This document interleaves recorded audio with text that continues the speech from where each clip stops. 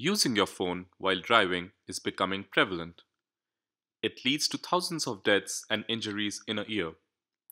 When you use your phone while driving, you put yourself and your loved ones at risk. We present Eyes on the Road, a system to detect if a person is using the phone while driving or not.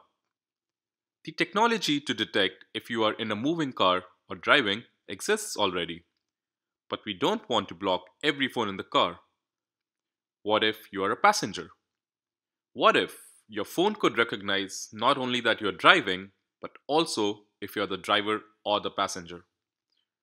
Our smartphone app does so by leveraging one key observation. The inside of the car has similar objects such as the sunroof, or the car seats, or the chicken handles. And the shape, the geometry of these shapes is similar across all cars. We use the front camera of the smartphone to capture these geometries from different positions. We analyzed a system in all of the most common positions a person would use the phone, either docking it on the shield, on the vent, or simply holding it in their hand.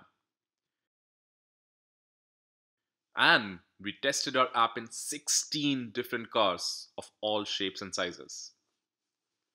Our lightweight app is able to make real time predictions and distinguish between the driver or the passenger even if the phone is docked or being moved around when the person holds it in their hand.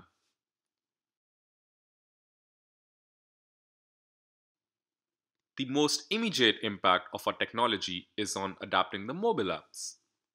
If a person is driving, instead of outright blocking usage, we can either simplify interfaces such as for music apps, or only allow voice to text responses to messages. In fact, insurance companies can also use this information to adjust your rates and reward you for good driving behavior. Thanks for watching.